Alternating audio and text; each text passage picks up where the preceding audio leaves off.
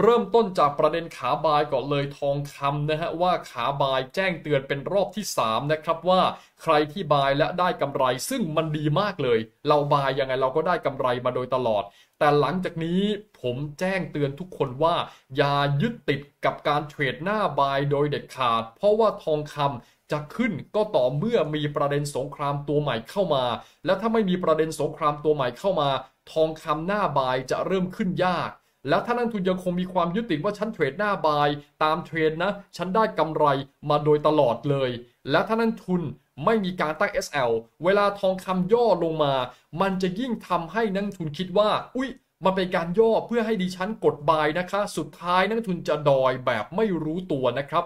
อย่าบอกว่าเราไม่แจ้งนะ ผมแจ้งแล้วนะครับ และผมเองก็ชอบหน้าบายด้วยเพราะว่าเทรดหน้าบายกับนักทุนมาโดยตลอด แต่พอเวลาเห็นสัญญาณความเสี่ยงเนี่ยมันต้องเตือนกันทุกท่าน เพราะยังไงเนี่ยมันฝืนกลไกตลาดไม่ได้ ทองอาจจะเป็นหน้าบายจริง แต่ไม่ได้เป็นหน้าบายที่แข็งแกร่งขนาดนั้น ตราบใดก็ตามที่ดอกเบี้ยอ้างอิงตลาดเงินตลาดทุนไม่ได้ทุบ และนี่ก็เพิ่งขึ้นทำไฮใหม่ สังเกตไหมครับว่าทองมันเริ่มขึ้นไม่ได้นักทุนครับ ดังนั้นในช่วงเช้าวันนี้เลย ถ้าเกิดว่าพี่ๆนักลงทุนกำลังจะบอกผมว่า ฉันอยากจะบายอะค่ะคุณเมื่อคืนนี้ฉันก็บายได้กำไรแล้ว ผมขอแบบนี้ได้ไหมว่า ถ้านักลงทุนอยากจะบายจริงๆนะ ดูตัวเลข 1945.44 แล้วก็ Money Management นะครับนักลงทุนครับ แถวแถว1936 คือค่อนข้างลึกเลยล่ะ ถ้าเวลาทองมันสามารถลงได้แล้วมันลากนักลงทุนลงมา เอาไม่ไม่ต้องช่วงคืนนี้นะ เช้าเช้าบ่ายๆ ตรงนี้ระยะความห่างมันอยู่ที่ประมาณ 861 จุด เพราะฉะนั้นถ้าใครตัดสินใจจะบายจริงๆนะครับ MM เผื่อเลย ตีเป็นพันจุดเลยก็ได้ ว่าถ้าทะลุ1936 ลงไป และกราฟเนี่ยปรับตัวในทางเฟรม1ชั่วโมงหลายชั่วโมงและบริเวณแถวนี้ไม่สามารถย้อนกลับได้เลย ควรคัดนะครับ ฟังไม่ผิดแล้วครับ ขาบายนั่นแหละควรคัดสักครับ ถ้ามันไหลลงมาบริเวณแถวนี้จริง แต่ถ้าไม่ถึงตรงนี้แล้วไม่หลุดก็ไม่เป็นไรครับ ยังพอลุ้นได้ เพราะว่าคนที่เทรดตามสายเทคนิคเนี่ยเขาไม่ได้มาดูความสัมพันธ์เหมือนผมหรอกเขาจะดูแค่ว่าทองมันจะยังอยู่ในเทรนหน้าบายไหมถ้ามันจะอยู่เทรนหน้าบายผมก็จะลุ้นหน้าบายต่อ นี่คือสิ่งที่เขาจะคุยกัน ดังนั้น ผมก็เลยต้องบอกกับนักทุนคล้ายๆกับสายเทคนิคว่า ถ้าราคาทองคำนั้นลงจริงนะ โซนแถวนี้จะเป็นโซนในการลุ้นบายโซนสุดท้ายของนักลงทุน ถ้าต่ำกว่านี้ไม่แนะนำการบายละ เพราะว่าเวลาไหลเนี่ยจากบริเวณ 19มันเหลือพื้นที่ในการลงเยอะครับ อย่างน้อยๆก็ประมาณเกือบเกือบ2,000 จุดเลยทีเดียว และอย่าตกใจนะ เวลาทองไหลลงมา โอเคไหมครับ ทีนี้บางคนบอกว่าคุณค่าแล้วถ้าเกิดว่าพี่บายตรงนี้ค่ะ พี่จะดุนเป้าขึ้นตรงไหนได้บ้างอะคะ สำหรับเป้าขึ้นของราคาทองคำนะครับก็ต้องบอกเลยว่ายังมีโอกาสลุ้นที่จะกลับมาบริเวณใกล้เคียงกับยอดแถวแถวๆด้านบนตรงนี้อยู่ครับ 1,950.43 กับ 1963.53 แต่อย่างที่ผมบอกครับนักทุน การที่เรากดบายวันนี้ตอนนี้สิ่งเดียวจะช่วยนักทุนที่ทำให้ราคาทองคำขึ้นได้อีก ต้องเป็นเรื่องสงครามตัวใหม่เลยครับสงครามตัวใหม่คือประเทศใหม่ไม่ใช่ประเทศใหม่ครับเป็นสิ่งที่เกี่ยวข้องกับอิสราเอลฮามาสปาเลสไตน์ แต่จะต้องเป็นข่าวที่มันมันมีความคืบหน้าคำว่าคืบหน้าในชนิดที่ว่ารุนแรงมากยิ่งขึ้น ถ้าเป็นแบบนี้เนี่ยมีโอกาสครับจะทำให้ราคาทองคำกลับขึ้นสู่บริเวณ ยอดตรงนี้ หรือไม่ก็ยอดใหม่ และอย่ายึดติดนะ ถ้าประเด็นดังกล่าวมันไม่ได้แรงจริง ๆ เนี่ยทองมันไม่ได้จะได้พานักทุนไป 2,000 หรอกครับ มันจะขึ้นปั๊บหนึ่งจะเริ่มปรับฐาน พอปรับฐานเสร็จปุ๊บ พอหมดแรงข่าว ตลาดขารับเรียบร้อย เดี๋ยวมันก็จะไหลลงมาครับทุกท่าน ทองคำหลังจากนี้จะเจอสภาวะแบบนี้ เพราะฉะนั้นนี่คือสิ่งที่ขาบายต้องเฝ้าระวังนะครับ และถ้าขาบายทุกคนเข้าใจในเรื่องของตัวความเสี่ยงที่จะต้องเผชิญแล้ว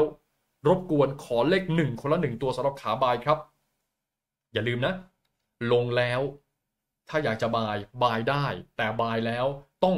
ยอมเป็นด้วยนะทุกท่าน ไม่ใช่ว่า Buy แล้วไหลลงมานี่แล้วอุ๊ยแต่มันก็ยังเป็นเทรนด์หน้า Buy นะครับที่ขอ Buy ค่ะ Buy Buy Buy Buy เรื่อยๆถ้าทั้งที่มันมีคำกล่าวแจ้งเตือนกับนักลงทุนไปแล้ว อย่าทำแบบนั้นนะครับ เพราะฉะนั้น รักษาพอร์ตเอาไว้นี่เป็นเรื่องที่สำคัญครับทุกท่าน หน้า Buy นักลงทุนเนี่ยทำกำไรกันมาอย่างต่อเนื่องแล้ว พอถึงจังหวะที่ตลาดจะเอาคืนนักลงทุนบ้าง ก็ต้องยอมปล่อยเข้าไปนะ ต้องเน้นบ่อยๆเลยว่า อย่ายึดติดกับหน้าบายโดยเด็ดขาดหลังจากนี้ จนกว่าจะมีข่าวสงครามเข้ามาจบครับ ต่อมามาดูกันที่ฝั่งของขาเซลล์กันบ้าง ขาเซลล์ขออนุญาตยังไม่พูดถึงคนที่ติดเซลล์ด้านล่าง หรือคนที่ติดเซลล์ต่ำกว่า 1936.7 นะครับ เนื่องจากว่าแรงเซลล์ยังไม่ได้แรงขนาดนั้น แต่คนที่ติดเซลล์นะครับแถวๆประมาณ 1936 ขึ้นมาจนถึง 1945 ถ้าไม่มีปัจจัยสงครามตัวใหม่นะครับ มีโอกาสลุ้นและที่ว่าทองจะเริ่มขยับปรับตัวย่อลงมาโซนสีน้ำเงินบริเวณด้านล่างแถวๆตรงนี้ก่อนครับทุกท่าน แต่ถ้าเกิดว่ามันมีข่าวสงครามตัวใหม่เข้ามา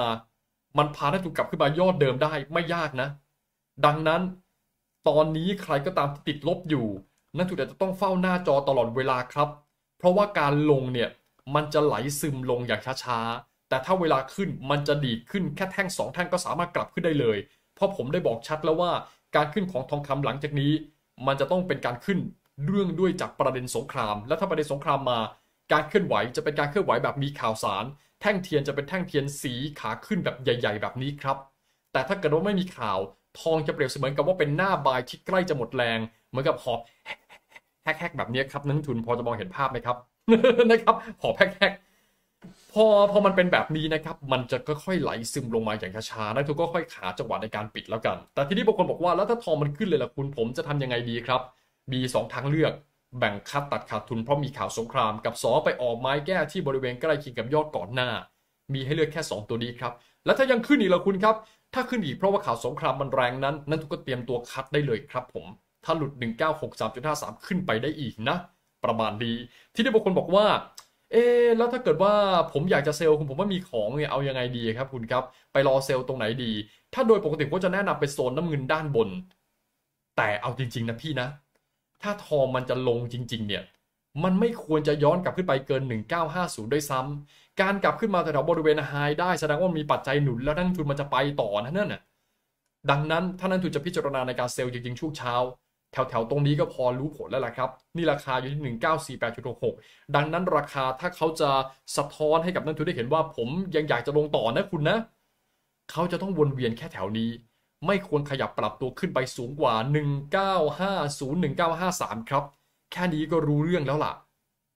ชัดเจนนะครับ สรุปอีกครั้งนะขาเซลล์ถ้าอยากจะรุ้นว่าทองจะลงไหม ไม่ต้องไปรอช่วงบ่ายช่วงเย็น ถ้าทองวนเวียนแถวๆประมาณ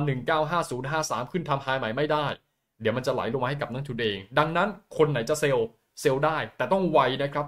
เพราะถ้านักทุนได้ยินคำพูดที่ผมพูดไปว่า หลังจากนี้ทองคำหน้าเซลล์จะเริ่มรุ้นได้เพราะว่ายิวสิปีปรับตัวสูงขึ้น แปลว่านักทุนฟังข้อความไม่ครบนะครับ ถ้าไม่มีข่าวสงครามตัวใหม่มา ทองจะไหลซึมได้เรื่อยๆเลยครับ แต่ถ้ามีข่าวสงครามเมื่อไหร่ เวลาขึ้นมันจะขึ้นได้ไวมาก ดังนั้นการเซลล์ของนักทุนตอนนี้ยังไม่มีข่าวสงครามมันเซลล์ได้ มันจะไหลช้าๆ แต่ต้องตั้ง SL กำกับด้วยนะ เพราะบางคนมองว่าทองเนี่ยมันน่าจะไหลลงได้แล้วล่ะคุณเวลาขึ้นก็คงจะไปได้ไม่ไกล คำว่าไม่ไกลไม่มีใครกำหนดได้จริง ๆ ขึ้นอยู่กับว่าข่าวสงครามผลลัพธ์ตัวใหม่ คนจะตีความหมายว่าอย่างไรมันเป็นเรื่องที่ใหญ่มากไหม สมัยก่อนคำพูดนี้เคยพูดกันมาตั้งแต่ตอนที่ทองคำอยู่นู่นครับ 1,840 1,850 จนสุดท้ายนี่ครับ ทองมาอยู่ 1,950 แล้ว เพราะฉะนั้นไม่มีใครการันตีได้ครับว่าการพุ่งขึ้นของราคาทองคำนั้นจะสามารถไปต่อได้อีกไกลหรือไม่พี่ๆพอจะเข้าใจได้บ้างไหมครับ พี่กุจิบอกว่าปัจจัยอะไรที่ทำให้ทองคำลงแรงๆเหมือนตอนที่ขึ้น สงครามสงบ สงครามเริ่มดี ถ้าสงครามเริ่มดีจริงครับเพราะทองคำขึ้นตอนนี้ขึ้นเพราะว่าปัจจัยเขาเรียกว่าความคาดหวังความกังวลเกี่ยวกับประเด็นสงครามพอขาดประเด็นสงครามปุ๊บประกอบกับการที่ยิวซีปียังอยู่ในเทรนขาขึ้นแบบนี้ ผมกังวลใจมากนะการขึ้นเนี่ยนักทุนอาจจะคิดว่ามันไวแล้วนะแต่เวลาลงเนี่ยมันจะลงไวกว่าตอนที่มันขึ้นอีกครับ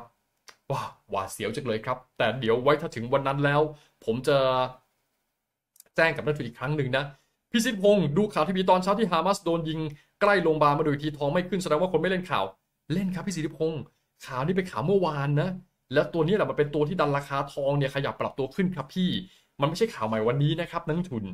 โอเคครับทุกท่านสรุปทองจบไปที่เรียบร้อยพวกเรา Trading Challenge Season 1 นะครับนักทุนแข่งเทรดชิงเงินแสนกับกระผมคูเปานะครับ ทุกท่านครับใครที่สนใจนะฮะระยะเวลาการเทรดตั้งแต่วันที่ 1 ตุลาคมถึง 20 ธันวาคมสามารถสมัครได้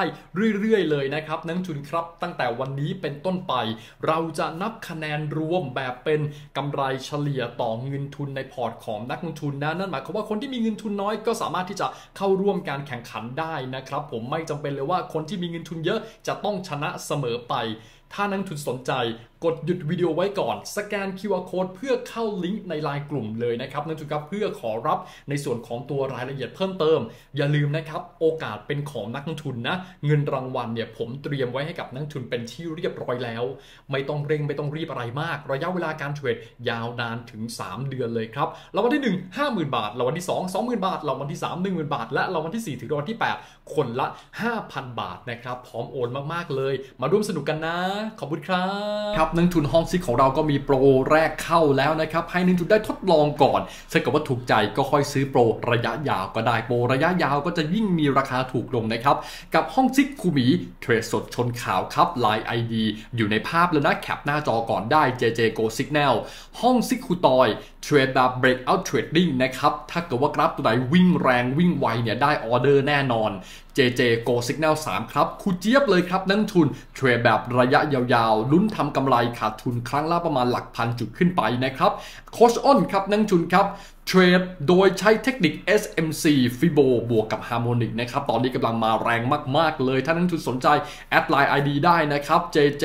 Go Signal 4 ครับผมแล้วก็ห้องสุดท้ายคือห้องของกระผมเองนะครับครูเปา Newsroom ครับทุกท่าน ผมมีบริการ Copy Trade นะครับ คือจริง ๆ แล้วทุกห้องเลยเนี่ยมีบริการ Copy Trade ทั้งหมดครับ ถ้าใครสนใจก็แอดไลน์ ID ไปได้เลยนะครับ ส่วนห้องของผมนั้นเราจะมีรหัสพอร์ตให้กับนักทุนเอาไว้ดูด้วยนะครับแล้วผมก็เทรด ทุกคู่เลย ทอง สกุลเงินหลัก สกุลเงินรอง ดัชนี น้ำมัน ยังไงฝากนักทุนไปด้วยนะครับ ขอบคุณมากเลยครับ